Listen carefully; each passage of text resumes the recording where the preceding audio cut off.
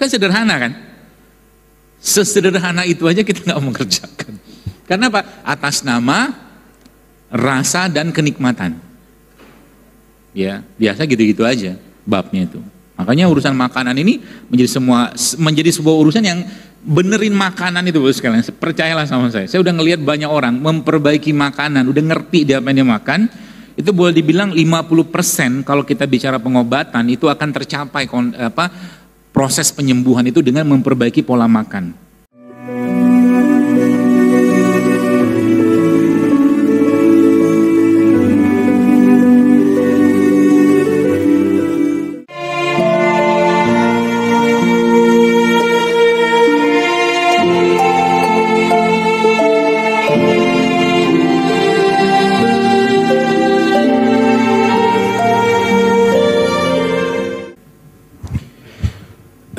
Bismillahirrahmanirrahim. Assalamualaikum warahmatullahi wabarakatuh. Alhamdulillah. Alhamdulillahillazi binikmati tatimus salihah. Asyhadu an la ilaha illallah wahdahu la syarika lah. Wa asyhadu anna Muhammadan abduhu wa rasuluhu la nabiyya ba'da. Allahumma salli wa sallim wa barik ala nabiyyina Muhammad wa ala ali Muhammad kama shallaita ala Ibrahim wa ala ali Ibrahim وبارك على نبينا محمد وعلى ال محمد كما باركت على ابراهيم وعلى ال ابراهيم انك حميد مجيد قال الله تعالى في القران الكريم اعوذ بالله من الشيطان الرجيم بسم الله الرحمن الرحيم قل ان كنتم تحبون الله فاتبعوني بكم الله ويغفر لكم ذنوبكم والله غفور رحيم Pertama dan utama tentunya kita bersyukur pada Allah Subhanahu wa taala hari ini Allah masih berikan kesempatan kita untuk hadir kembali tentunya di muka bumi ini untuk melaksanakan peran-peran kita atau melaksanakan tugas atau amanah yang Allah berikan kepada kita sebagai hambanya dan juga sebagai khalifahnya di muka bumi ini sebagaimana yang Allah firmankan dalam Al-Quran. Dan tentunya Peran-peran ini Bapak Ibu sekalian bukan peran yang mudah. Bukan peran yang ringan juga dan bukan peran yang remeh-temeh juga. Artinya kita hidup di dunia ini punya fungsi, punya tujuan yang Allah Subhanahu wa taala sudah jelaskan itu dalam Al-Qur'an. dan tentunya untuk menjalankan peran-peran ini pun Allah memberikan perangkat-perangkatnya kepada kita semua. Perangkat-perangkat dalam tanda kutip tools ya, semacam tools yang Allah berikan yang mana kalau kita ikuti tools tadi itu maka sebenarnya tidak ada yang perlu kita khawatirkan. Tools-tools itu sebenarnya kalau kita terjemahkan atau perangkat-perangkat tadi tanda kutip kalau kita terjemahkan dalam bahasa-bahasa uh, ilmiahnya mungkin kita bisa menyebutnya misalkan dengan uh, jam biologis misalkan.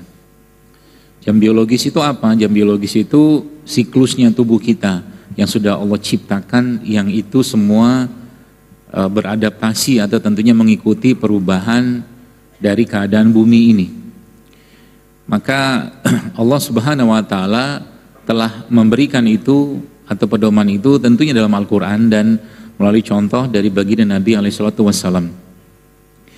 Maka tentunya itu semua kalau kita ikutin tidak ada yang perlu kita khawatirkan karena perangkat-perangkat itu pun sudah Allah berikan dalam diri kita dan di sekitaran kita ini di bumi ini. Dalam diri kita misalkan kalau kita lihat Allah memberikan rasa kenyang misalkan. Rasa kenyang itu sebenarnya suatu rahmat dari Allah agar kita berhenti makan. Jadi tanpa sadar kita dengan ada rasa kenyang itu kita tidak bisa lagi makan karena emang lambung kita terbatas ya.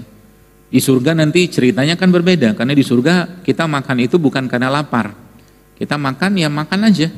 nggak ada laparnya, nggak ada kenyangnya gitu loh. Dan semua yang masuk dalam tubuh kita itu itu dia tidak berubah menjadi kotoran seperti halnya di bumi tapi melainkan menjadi aroma wangi yang luar biasa. Itu contohnya. Ada juga lapar Allah berikan kepada kita semua. Ada kenyang, ada lapar, ya, ada haus. Itu semua sebenarnya caranya Allah untuk menjaga kestabilan tubuh kita. Jadi dalam tubuh kita ini Bapak Ibu sekalian sudah diberikan perangkat-perangkat itu untuk kita cermati, untuk kita jadikan itu sebagai indikator. Ya. Contoh mungkin tadi saya mendengar eh, kalimat dari Pak Haiban yang mengatakan bahwa uh, udara sekarang memang luar biasa ya, sedang kotor-kotornya. Maka saya pribadi ini sebenarnya baru pulang tadi kemarin hari ya Senin pagi lah. Senin pagi baru sampai kurang lebih jam 6 eh, dengan rombongan kita baru turun dari gunung naik gunung ya.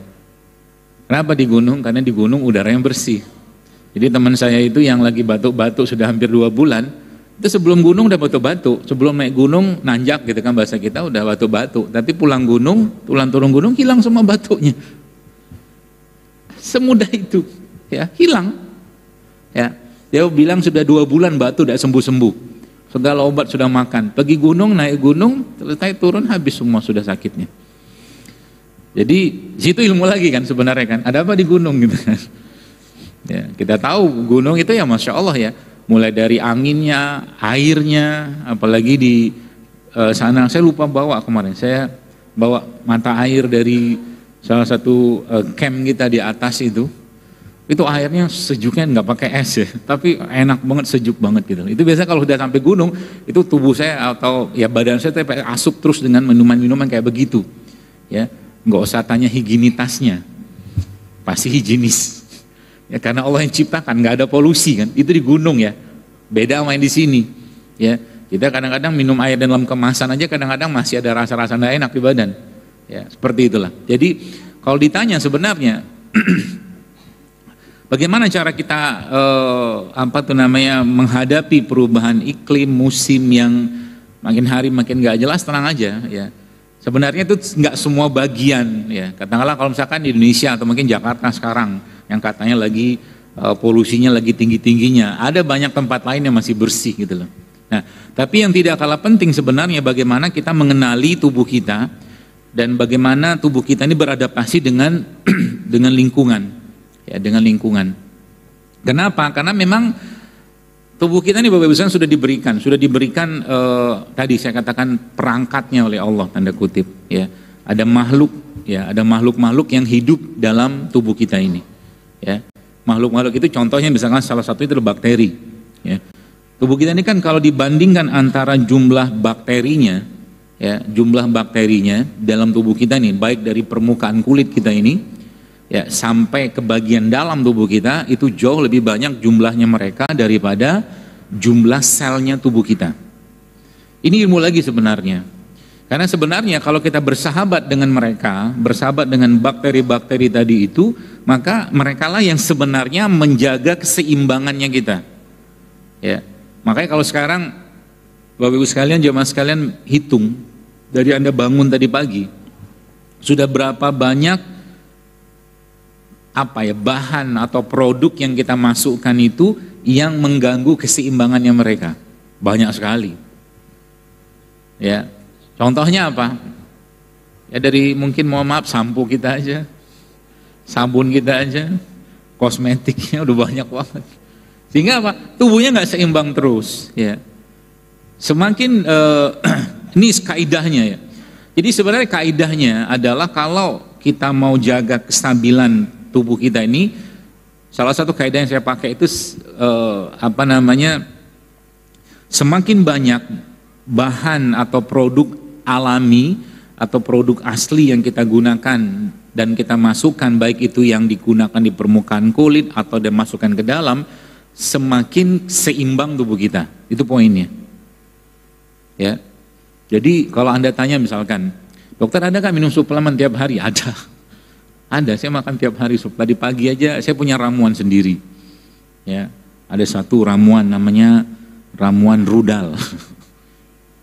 itu bikin, dibikin. Itu sebenarnya dia buat jantung sebenarnya. Ya. Terus tadi pagi dia ada sudah uh, saya makan juga tadi pagi itu apa uh, bawang. Bawang ini fermentasi. Saya makan juga. Tiap hari pasti ada. Sehingga biasanya Alhamdulillah Masya Allah kalau yang sekitaran saya sakit, saya lama sakitnya tuh jarang sakitnya itu bagian dari ikhtiar kan sebenarnya kan. Ya, kalaupun sakit biasa recovery cepat banget. Ya, sekarang pun harusnya nih biasanya kalau udah naik gunung kayak begini itu tiga hari, empat hari, kadang seminggu baru hilang pegelnya. Ya, tapi alhamdulillah Allah kasih kemudahan saya juga sudah bisa ngelipat kaki. Ya, karena kalau sudah naik gunung tuh yang, yang berat memang justru malah turunnya. Karena beban badan itu kan luar biasa tuh, jaga keseimbangan. Jadi akhirnya paha bagian atas tuh pegel sepegel-pegelnya. Karena tahu ilmunya, jadi kayak gitu kan pasti ujungnya sama asam laktat apa segala macam, asam amino yang kita butuhkan. Maka tadi pagi saya makan telur. Berapa banyak telur yang saya makan untuk badan saya ya? Saya makan sekali makan tuh tujuh. Banyak. Tujuh. Karena kalau cuma satu telur ayam kampung doang numpang lewat dia. Nggak masuk di saya. Gitu. Akhirnya biasa aja lah tujuh. Saya kalau makan habatus sauda kadang-kadang untuk saya ya. Ya, saya kata untuk saya, mungkin belum tentu cocok buat Anda. Sekali makan habatus sauda kadang-kadang 5 7 kapsul prok kali makan. Gitu. Itu akhirnya jadi tetap fit badan kita, terjaga gitu loh. Ya. Makan telur ya, biasalah kasih apa? Kasih garam apa, lada hitam, lada putih gitu-gitulah. Sehingga cepat recovery-nya. Ya. Apalagi, nah ilmu ilmu baru lagi tuh. Kalau saya biasanya ke tempatnya ini ilmu kalau anda pengen tetap awet muda dan glowing, binti kinclowing. Ada satu suku bapak sekalian, namanya suku Hunza. Suku Hunza ini kalau nggak salah adanya di daerah Pakistan, perbatasan Himalaya. Nanti bisa di browsing di YouTube itu. Nah, mereka tuh umur 65 tahun itu masih bisa melahirkan ibu-ibunya, perempuan 5 tahun dan masih tampak muda lah ya. Nggak kayak manusia modern kayak kita sekarang gini kan. E, wajahnya usianya 30 tapi tampak 50 bermutu bermuka tua. Ya seperti boros gitu. Boros. Makanya kalau anda lihat nenek-nenek kita kakek-kakek kita yang jarang makan yang aneh-aneh itu mereka tahu awet-awet aja wajahnya awet wajahnya atau mungkin awet kekuatannya.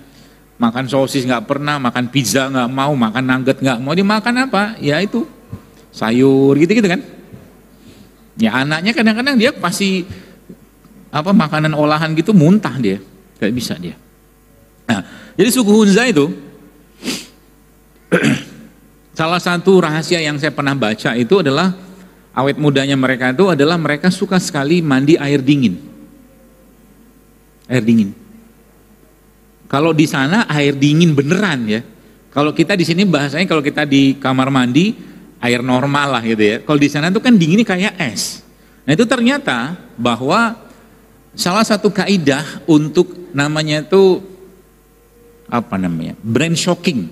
Otak kita tuh dibikin kaget, tapi kaget itu bisa menguatkan katalah fungsi otak yang saya pernah e, baca atau lihat gitu ya tentang itu tuh itu adalah dengan cara jadi misalkan ada orang pakai shower gitu ya. Dan itu saya kerjakan itu. Kita pakai shower misalkan showernya itu ada hangatnya, misalkan ada shower di rumah lah ya. Atau kemudian habis hangat itu showernya langsung dipindahkan ke yang dingin. Kaget tuh. Ya, jadi ada tiga sebenarnya kata beliau itu, kata si dokter itu, ini hadiah ya, bukan jualan. Nanti kita bagi-bagi. Jadi ada tiga tuh yang bisa membuat uh, brain shocking dia bilang. Yang pertama tuh puasa. Puasa itu bisa mengakibatkan atau membuat brain shocking. Jadi kalau orang brain shocking tuh nanti efeknya apa? Ke kecerdasan. Kecerdasan. Itu yang pertama. Kemudian yang kedua apa? Tadi. Anda mandi air hangat, tiba-tiba mandi air dingin. Itu juga bagus tuh. Dengan catatan ya tubuh kita dalam kondisi fit. Ya, tidak ada penyakit yang mengganggu dan cukup berat gitu catatannya. Makanya kalau saya datang ke pegunungan itu saya senang sekali ke sana. Kenapa? Saya pasti akan mandi air dingin. Dan kalau di rumah, Bapak Ibu ada uh, apa tuh namanya shower gitu ya, entah dia langsung keran gitu, apa namanya selang gitu atau yang langsung gitu. Nah nanti bisa dibikin. Saya mau coba tapi belum saya kerjakan. Jadi pakai kayak anu Bapak Ibu, eh, pakai kayak saringan, paham ya saringan? Entah yang logam aluminium itu atau pakai yang uh, plastik isi es. Isi es, lalu nanti airnya kan kena itu kan, ah itu mandi pakai itu. Kenapa? Itu ada satu kaidah baru namanya cold immersion. Cold immersion itu kita berendam di dalam air dingin. Uh, itu keren. Kenapa saya katakan ini? Karena data-datanya ada. Bagus. Jadi mereka itu bahkan sekarang di uh, apa ya ahli-ahli naturopati barat itu itu mereka membuka data-data tentang itu. Jadi kalau betap itu ya, betap itu nanti ada air kalau punya betap. Kalau nggak punya gentong. Saya nggak ada betap di rumah, tenang aja. Pakai gentong gitu kan. Nah, gentong itu isi air sama isi es. Tapi catatannya sekali lagi kita harus paham sekali tubuh kita. Ya, kita harus paham sekali tubuh kita. Artinya kalau kita ngerasa nggak fit jangan, apalagi ragu, jangan. Ya, itu bisa menguatkan imunitas. Ini keren kan? Jadi kalau ada orang yang eh, bahkan sauna, itu kan pakai unsur dingin tadi kan. Sauna itu disebutkan dalam sebuah penelitian yang saya baca juga itu tiga kali uh, seseorang melakukan sauna dalam satu pekan itu bisa meningkatkan imunitas dia sampai 15-20 persen sehingga saya sauna. Dokter saya nggak punya bilik saunanya. Oh gampang, zaman dulu orang pakai tikar. Betul kan? Orang pakai tikar, kemudian di tengahnya ada pancinya. Pancinya isinya rempah-rempah. Mungkin sekarang Jawa bilang ratus. Rempah ratus itu, itu nguatin imunitas itu. Tiga kali satu pekan. Jadi ada unsur panasnya, ada unsur dinginnya. Kita akan bahas sedikit tentang ini nanti. Ya. Jadi sebenarnya perubahan iklim atau cuaca atau segala itu mengakibatkan perubahan juga dalam diri kita. Ya. Secara biologisnya kita. Jadi misalkan contoh mungkin begini. salah satu kaidah yang uh, saya pelajari dan saya pakai juga sebenarnya misalkan kalau pagi-pagi, pagi-pagi itu sebenarnya jangan terlalu banyak makan. Pagi-pagi. Kenapa? Karena pagi-pagi itu masih lanjutan malam. Ya, terutama menjelang matahari terbit. Jangan banyak makan waktu pagi karena memang saat itu setahu saya sehingga saya itu grafik uh, growth hormonnya kita, hormon pertumbuhan kita itu masih cukup tinggi. Ya, jadi kalau pagi-pagi Anda pengen fit, jangan terlalu banyak makan karbohidrat. Karbohidrat sudah tahu contohnya ya. Nasi, terigu, segala macam gitu. Jadi misalkan Anda makan apa? Orang pagi-pagi makan apa?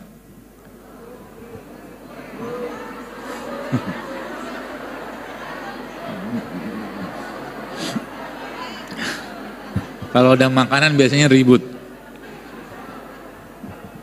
Biasanya kan makan nasi uduk. Ya kan? Apa makan aja nasi uduk cuman nasinya nggak banyak. Banyakin kerupuknya. enggak, enggak, enggak, enggak. Banyakin apanya lauknya. Ya. Kan nasi uduk itu ada isinya apa aja? Nasinya ada ada tempe, ada telur, nah gitu. Jadi nanti nasinya Nanti coba praktekin. Jadi gini, saya ngomong begini sudah berkali-kali mungkin ya. Tapi mungkin yang ngerjain juga nggak banyak. Masih aja gitu-gitu aja terus. Dan saya pun masih gini-gini aja terus. Anda mau berubah silakan, nggak berubah silakan. Nggak ada urusan sama saya. Kan tugas saya cuma menyampaikan. Tapi cobalah sedikit naik level maksud saya itu. Naik level lah sedikit. Yang gitu-gitu aja hidup. Cobalah hal-hal yang baru gitu loh. Ya, contoh makan nasi uduk. Besok saya kalau makan sarapan pagi pakai nasi uduk, e, nasinya tuh sendok aja. Ah, jangan protes, buru belum saya belum Anda kerjakan Anda sudah protes. Misalkan, ya, nasinya satu sendok aja, bihunnya satu sendok aja, sisanya tempenya, timunnya kalau ada timun, ya sama telur, banyakin lauknya. Coba aja lihat nanti, badan lebih enak. Karena tubuh kita itu tidak terbiasa dengan lonjakan gula yang cepat. Anda bayangkan kita udah makan nasi dengan gula. Plus tambah lagi dengan bihun, bihun gula lagi. Ya kan? Tambah lagi dengan apa? Kerupuk, gula lagi, terigu lagi. Minumnya teh manis, gula lagi. wajar ngantuk. Gitu loh maksudnya. Kan sederhana kan? Sesederhana itu aja kita nggak mau kerjakan. Karena apa? Atas nama rasa dan kenikmatan. Ya, biasa gitu-gitu aja babnya itu. Makanya urusan makanan ini menjadi semua menjadi sebuah urusan yang benerin makanan itu bos sekalian. Percayalah sama saya. Saya udah ngelihat banyak orang memperbaiki makanan, udah ngerti dia apa yang dia makan. Itu boleh dibilang 50% kalau kita bicara pengobatan itu akan tercapai apa proses penyembuhan itu dengan memperbaiki pola makan. Ya, itu misalkan. Ya jadi pagi-pagi itu. Jadi kalau kita sudah ngerti cara makannya ya tadi beradaptasi dengan lingkungan segala macam maka sebenarnya tubuh kita itu akan menyesuaikan dengan dirinya sendiri atau dengan kondisi lingkungan tadi. Baik, jadi itu dingin, ada dingin panas ya. Jadi kayak kayak begini misalkan cuaca lagi panas begini, tubuh kita itu kan sudah memberikan sinyal. Ya kan? Sinyalnya apa? Haus. Apakah selesai sampai di situ urusan hausnya? Enggak. Kan setan iblis bermain. Haus. Yang diminum apa? Air. Entah dulu, beneran air enggak? Yang kita butuhkan kan air. Air putih kayak, ya. Air putih lah standarnya gitu kan. Akhirnya muncul keinginan. Wah, nih kalau minum air es enak banget nih. Begitu kan? Naik lagi tuh, nggak cukup air es. Kalau dikasih yang manis-manis, makin enak tuh. Gitu kan? Apalagi manis, dingin, es, dan manisnya tuh enak banget gitu kan. Muncul akhirnya produk-produk kemasan yang dingin dan tidak pakai gula tapi menyenangkan lidah karena menggunakan pemanis buatan. Akhirnya tersesat di situ.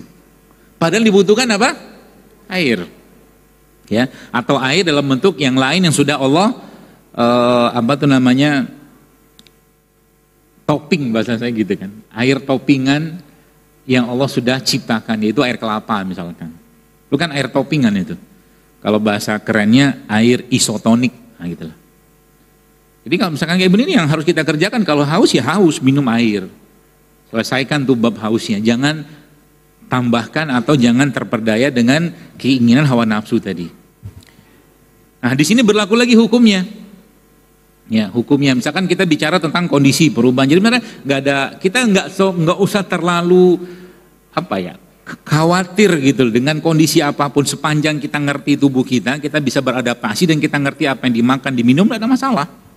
Tidak masalah. Ya, tadi asal apa? Asal kita bejeli. Ya. Tadi kita bicara tentang bab haus tadi misalkan. Maka haus itu maka semua yang kaitannya dengan uh, produk yang mengandung air ya itu konsumsilah di waktu-waktu seperti ini ya produk yang mengandung air karena memang rasa itu kan Allah berikan karena cuaca di luar itu panas ya kita Allah berikan rasa haus tadi sebenarnya rasa haus dan segala macam sensasi rasa tadi itu juga itu diberikan atau dimasukkan Allah dalam tubuh kita itu melalui salah satu bakteri-bakteri tadi itu juga sebenarnya keinginan. Nanti baru masuk rasa, nanti rasa. Rasa nanti lain lagi tuh. Ya. Jadi kalau sudah kayak begini apa harus kita kerjakan? Uh, apa namanya? Di di apa sih itu di difasilitasi. Ya. Jadi buah-buahan. Kayak musim kayak begini ini bagusnya buah apa yang kita makan dengan kondisi tubuh kita masih seimbang misalkan. Ya buah-buah yang tinggi air semangka, timun, pir, gitu loh. Kemarin eh, atau mungkin buah-buah seperti nanas itu kan airnya tinggi tuh. Jadi kita makan seratnya juga, kita makan vitaminnya, enzimnya, mineralnya, sekaligus kita makan airnya di situ. Ya, itu kaidahnya. Sehingga nanti pada dasarnya fungsinya apa ketika kita mengkonsumsi produk-produk kayak tadi menyesuaikan dia menyesuaikan ketika luarnya tubuh kita itu panas di sini tetap dingin gitu loh yang jadi masalah sebenarnya kalau kita pakai kaidah misalkan kaidah tentang konsep keseimbangan kadang-kadang orang tuh kan nggak paham apa dia makan. Ya. Nggak terlalu paham apa yang dimakan sehingga apa? Tubuhnya bermasalah. Ya tubuhnya bermasalah. Contoh mungkin di saat cuaca seperti sekarang ini misalkan, misal ya, kan cuaca panas nih. Kalau kita memahami kaidah-kaidahnya maka sebenarnya sesuaikan saja apa yang kita konsumsi itu dengan uh, katakanlah kalau kita menggunakan bahasa sifat. Contoh, contoh nih. Tahu habatus sauda kan? Tahu lah, pernah kenalan? Saya juga belum pernah kenalan. Tapi bisa gini, habatus sauda itu ya kalau kita ngebahasnya di luar bicara kandungan, tapi kita bicara tentang sifat, maka dia sifatnya panas. Itu habatus sauda. Ya. Maka pada kondisi kayak sekarang ini dia kalau kita konsumsi dalam jumlah cukup banyak dan cukup besar, maka sebenarnya kalau dalam pemahaman saya kurang tepat. Paham ya? Berarti kita makan apa? Yang kira-kira bisa mengandung atau menyerap air atau sifatnya dingin misalkan. Kalaulah kita menggunakan ilmu sifat, persifatan. Contohnya apa?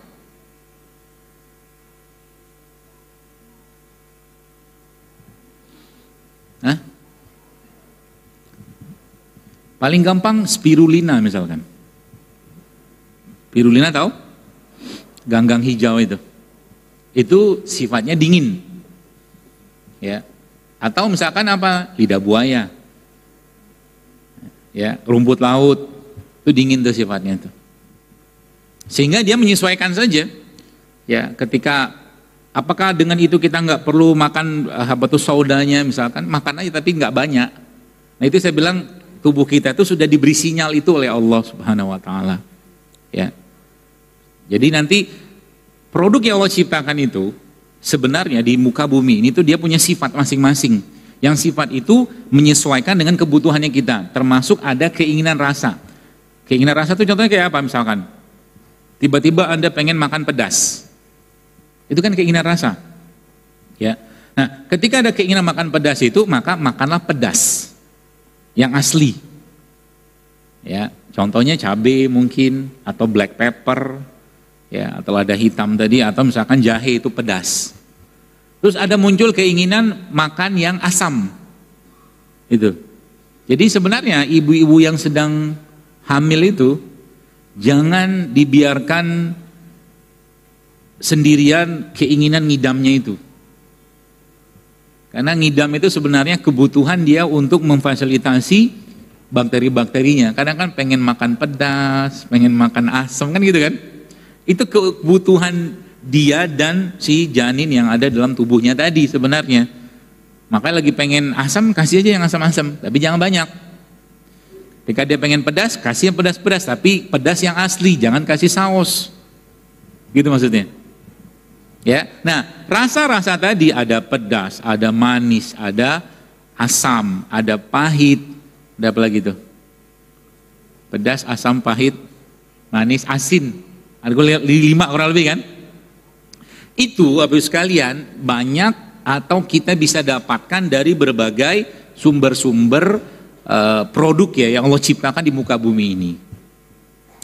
Pernah nyobain kunyit nggak? Makan gitu. Rasanya apa? Hah? Getir.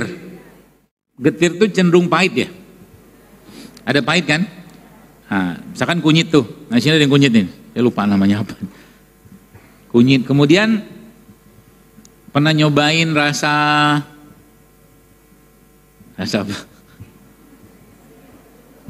Jahe, jahe. Jahe rasanya apa? Pedas ya jahe pedas eh, atau mungkin cabai ya jadi sebenarnya lagi-lagi saya katakan rasa-rasa tadi itu caranya Allah untuk menjaga keseimbangan kita dan bisa beradaptasi ke lingkungan. Maka kalau kita ngebahas pada tema bab rempah dan rimpang, rasa itu ada di sana. Dan rasa itu sudah lama kita lupakan. Karena sibuk kita dengan memfasilitasi keinginan lidah. Jadi rasa aslinya hilang. Ya. Ada satu video saya itu saya cerita tentang uh, rasa yang palsu. Jadi akhirnya jadi awal mulai itu begini. Jadi zaman sekarang ini kalau menurut yang saya pelajari dan pahami dan saya temukan gitu kan, banyak kasus-kasus yang hubungannya sama luka pengasuhan atau hutang pengasuhan. Hutang pengasuhan itu uh, adalah hak kasih sayang lah bahasa gitu yang harusnya didapatkan oleh seorang anak ketika dia dalam kandungan atau dalam masa dia tumbuh kembang sampai usia lima tahun, tapi dia tidak dapatkan itu hak pengasuhan tadi sehingga dia defisit ya atau kasih sayang yang dia dapatkan itu kurang. Tapi dia nggak bisa nagih karena anak kecil kan. Ya, yang tampak adalah dia membutuhkan itu, ya, dia membutuhkan itu, tapi dia tidak terfasilitasi rasa kasih sayang itu ya. Jadi kalau dan itu ya jujur saya banyak dapatkan ke uh, apa ya orang tua ya orang tua yang ya belum terlalu paham cara menjadi orang tua. Termasuk saya juga nggak sesempurna itu juga ya. Itu akhirnya ada hak-haknya dia yang tidak terpenuhin nah imbasnya karena cinta itu uh, adalah manis ya maka orang-orang yang kekurangan kasih sayang dan cinta itu mencari yang manis-manis Ya, kodarullahnya dia mendapatkan yang manis-manis itu bukan dari sumber yang manis beneran. Tapi mendapatkan sumber manis dari yang palsu. Jadi manisnya palsu, dia dapatkan cinta yang palsu. Nah gitulah kurang lebih ilustrasinya. Kalau nggak paham nggak apa-apa.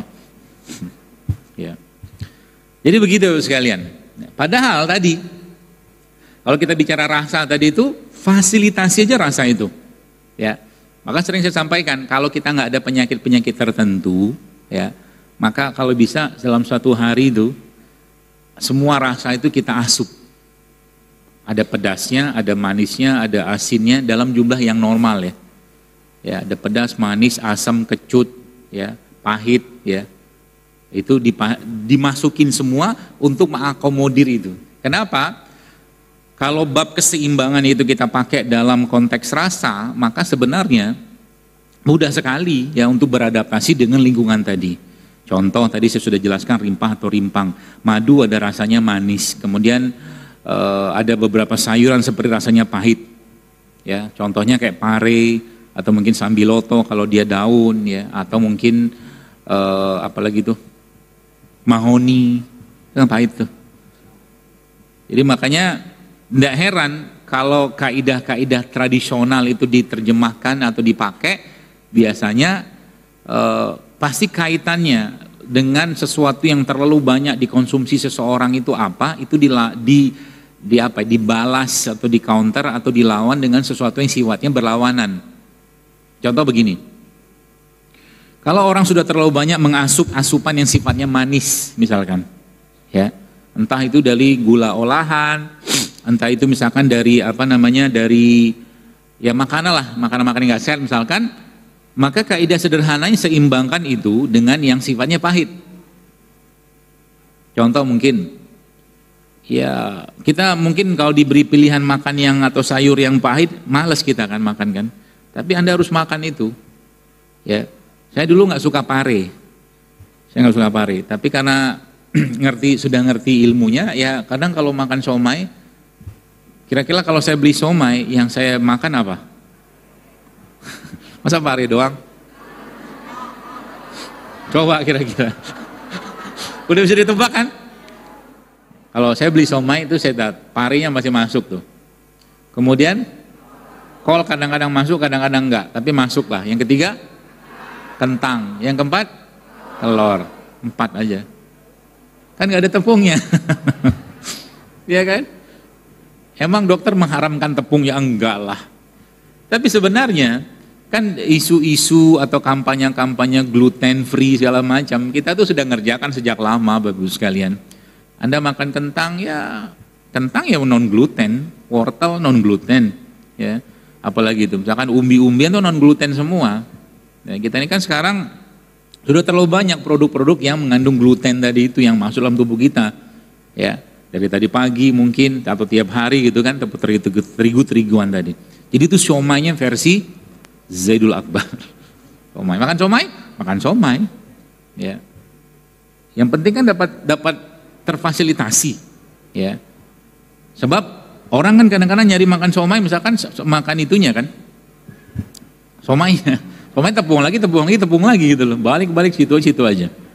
Baik, kembali ke rasa tadi sekali. Maka Ketika perasaan atau sensasi itu muncul, ya, mungkin dari sisi rasa tadi, ya, maka fasilitasi itu, misalkan adalah haus tadi ya, segera minum air. Naikin sedikit air yang bermineral lebih tinggi isotonik air kelapa atau misalkan. Oke, susah bikin air kelapa. E, tambahkan misalkan air kayak begini nih, air putih begini, Anda tambahkan madu, dan dari apa yang saya pelajari sebenarnya, kata salah satu guru saya, Madu itu lebih cepat menyerap atau terserap dalam tubuh kita kalau kita masukkan ke dalam air. Ya, lebih cepat. Jadi dia langsung e, larut di sini kita minum. Ya. Terus tambahkan sedikit garam. Udah jadi air super mineral. Ya, kan itulah. Ada asinnya. Kadang-kadang kalau madunya madu-madu agak asam madu hutan, dia ada asamnya sedikit, ya. Kemudian ada airnya juga komplit kayak begitu. Ya, kayak begitu. Nah, kemudian itu misalkan rasa manis ya. Tapi ingat kaidahnya. Kaidahnya apa? Jangan berlebihan. Ya. Contoh mungkin kalau kita bicara kurma. Kurma itu kalau Anda baca sekarang penelitiannya, itu salah satu buah dengan kandungan yang boleh dibilang itu sempurna. Kurma itu. Baik dagingnya ataupun bijinya. Ya. Saya beberapa kali sudah saya sampaikan kalau bisa dibuat tuh biji uh, kurma itu menjadi kayak seperti seduhan kopi, itu bagus sekali karena memang uh, bijinya dari satu tanaman itu itu adalah nyawanya tanaman. Ya, jadi kalau Anda makan misalkan makan apa? Melon. Ya, melon misalkan ya makan sama biji-bijinya aja. Biji melon. Apa-apa kan? Apa-apa. Kenapa? Mikirnya kedondong ya. Biji melon. Apalagi misalkan biji manggis. Biji manggis itu bagus. Nah, buah-buahan itu nanti kita mulai pilih tuh. Ya. Jadi jangan terkecoh dengan buah-buahan atau uh, ya buah lah ya yang bagus rupanya tapi tidak ada nyawanya. Bagus rupanya tidak ada nyawa itu adalah buah-buahan yang tidak ada bijinya, yang dulunya ada bijinya. Paham ya? Sekarang kalau Anda pergi ke supermarket besar itu, itu jeruk-jeruknya sekarang sudah tidak ada biji lagi. Ya. Bahkan jahe juga, kalau Anda cari jahe, carilah jahe yang jahe yang apa? Ya merah oke lah, karena banyak jahe sekarang kita itu kan jahe impor. Jadi gede-gede banget, anda masukin sekilo, nggak ada pedes-pedesnya itu jahe. jahe hibrid kita bilang. Jahe yang cuma bisa ditumbuh sana, di sini nggak bisa ditumbuh kembangkan, nggak bisa, dikunci sama dia. Nggak bisa dia. Nah, carilah jahe-jahe lokal. Ya, jahe merah, jahe emprit, atau jahe gajah yang kecil-kecil. Kan ada jahe-jahe gajah, jahenya namanya jahe gajah karena gede, tapi dia nggak gede banget kayak jahe-jahe import itu. Ya, seperti itu. Itu semua, Bapak sekalian, memfasilitasi rasa tadi. Ya. Makanya lagi-lagi saya sampaikan uh, ketika muncul misalkan keinginan uh, kita mengkonsumsi tadi itu segera fasilitasi aja karena itu bagian tubuh kita untuk beradaptasi dengan lingkungan. Ya. Kemudian tadi ada manis tadi kita bicara manis kan ada pahitan. Ya. Jadi pahitan itu sekali-sekali kalau bisa masuk dalam list menu. Ya. Kalau sayuran yang pahit apa? Pare, selain pare apa? Daun pepaya. Makan deh itu. Ya, makan daun pepaya. Tadi biji-bijian eh, itu juga bagus tuh kalau dimakan. Biji manggis. Jangan dikunyah. Telan aja. Nanti kalau tumbuh gimana dok? Mana bisa lo tumbuh? Kalau saya biasanya manggis itu kalau pas lagi saya ada waktu, tapi ini nggak bagus ya, karena saya saya pribadi punya pemahaman eh, buah itu bukan untuk dijus. Karena kalau anda ngejus buah, maka gulanya buah itu naik. Ya, kalau buah itu bagusnya diapain? Makan aja. Gitu. Jadi kalau emang lagi, jadi ada bayangin ya, buah murni, buah asli yang di jus itu sudah naik gulanya. Kalau di jus tanpa tambahan apa pun. Anda bayangkan kalau jus buah kemasan. Udahlah gulanya naik dari aslinya gara-gara di jus tambah lagi gula. Saya rutin loh ngejus tiap hari. Wah gitu kan. Beli di luar gitu kan. Tiba-tiba saya kena diabetesnya salahmu. Gitu maksudnya. Apalagi jus-jus yang uh, ya misalkan mau maaf ya abang-abang pinggir jalan atau mungkin di masjid jualan jus. Nah kalau anda pengen beli jus itu bilang murni tanpa gula. Bilang ya. Kalau enggak cari kombinasinya. Kalau gaya saya cari kombinasi supaya dapat gulanya. Cari buah yang tinggi gulanya, airnya campurkan dengan buah yang padat. Sehingga nanti manisnya dapat, tapi nggak pakai air, nggak pakai gula. Gitulah itunya, mensiasatinya itu. Nggak ribet kok sebenarnya. Daripada mungkin dia cuma peres apa satu dua jeruk ya sisanya hampir seperempat dari gelas itu kan gula. Gitu loh. Itu yang palsu-palsu itu ya. Maksudnya e, manisnya palsu. Kemudian apalagi yang manis tadi pahit ya pahit. Jadi pahitan ya coba mulai dimasukkan. Kemudian manis tadi sudah dijelaskan manis-manis contohnya paling gampang ya madu paling gampang ya apalagi misalkan air tebu Manis kan? Air tebu itu sehat nggak? Sehat. Asal jangan banyak-banyak. Karena justru malah air tebu itu Bapak Ibu sekalian itu punya kandungan anti diabetes sebenarnya. Dalam air tebu itu.